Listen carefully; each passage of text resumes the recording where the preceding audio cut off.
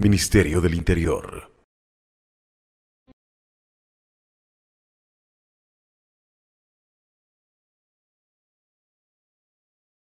Nosotros acá en el Distrito 9 de Octubre eh, tenemos como estrategias en todos los locales comerciales, el casco, eh, digamos, comercial, lo que tiene que ver con entidades comerciales.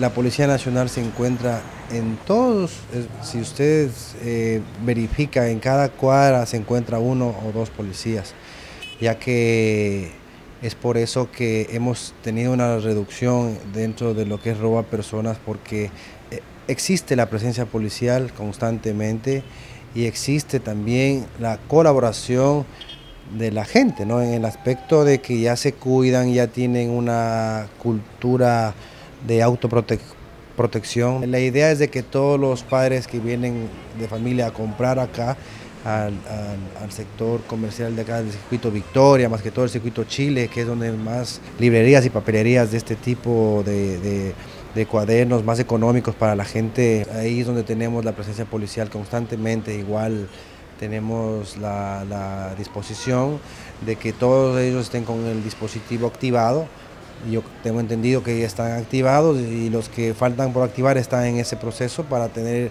en caso de que se suscite un auxilio, pues tengan la respuesta inmediata de la Policía Nacional. Mucha seguridad, hasta la hora de la noche, a veces nosotros salimos ocho y media, nueve y media, están los señores policías por aquí, nos están resguardando, están paseando por aquí, dándose cuenta todo para que no nos pase nada. Como comerciante y también para los personas, los clientes que vienen a hacer las compras también se sienten tranquilos porque usted sabe que aquí en la parte de afuera todo eso están los policías y nos están todo viendo para todo. Sí tengo ese botón de seguridad que se marca el 5 y sale y vienen los policías para acá.